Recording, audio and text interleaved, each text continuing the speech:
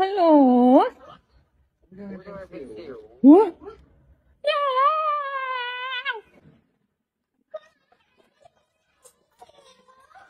โอเคค่ะ แล้วตอนนี้ลูกค้าใช้ตัวยาตัวไหนรักษาสิวไหมคะอ๋อเดี๋ยวสักครู่นะคะเดี๋ยวเอามาด้วย อันนี้ค่ะคุณหมอ ได้ค่ะ อ๋อ จริงๆแล้วตัวยาตัวนี้เป็นตัวยาคลินาเมซินนะ ซึ่งมีคุณสมบัติในการฆ่าเชื้อสิวได้ แต่ว่าจริงๆแล้วอะตัวนี้ไม่แนะนำให้ใช้ตัวเดียวนะคะ เพราะว่าตัวนี้ถ้าใช้รักษาเพียงแค่ตัวเดียวเนี่ยอาจจะทำให้เกิดการดื้อยาของเชื้อที่ก่อให้เกิดสิวได้นะคะ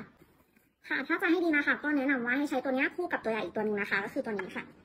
เป็นตัวยาเบนโซอิลพารอกไซด์นะคะ ซึ่งตัวนี้มีคุณสมบัติในการฆ่าเชื้อสิวผลัดเซลล์ผิวได้นะคะ แล้วก็ช่วยลดการอักเสบของสิวได้ด้วย ซึ่งตัวนี้ถ้าเกิดว่ายังไม่เคยใช้นะคะ แนะนำให้เริ่มต้นที่ 2.5%ก่อนนะคะ แล้วก็ทาทิ้งไว้ประมาณ 15 นาทีแล้วค่อยล้างออกนะคะ สามารถใช้ได้ทั้งเช้าแล้วก็เย็นค่ะค่ะแนะนำให้ลองใช้คู่กันดูนะคะ เพราะว่าจะช่วยให้สิวลดลง แล้วก็ป้องกันการเกิดการดื้อยาของเชื้อที่ทำให้เกิดสิวด้วยค่ะ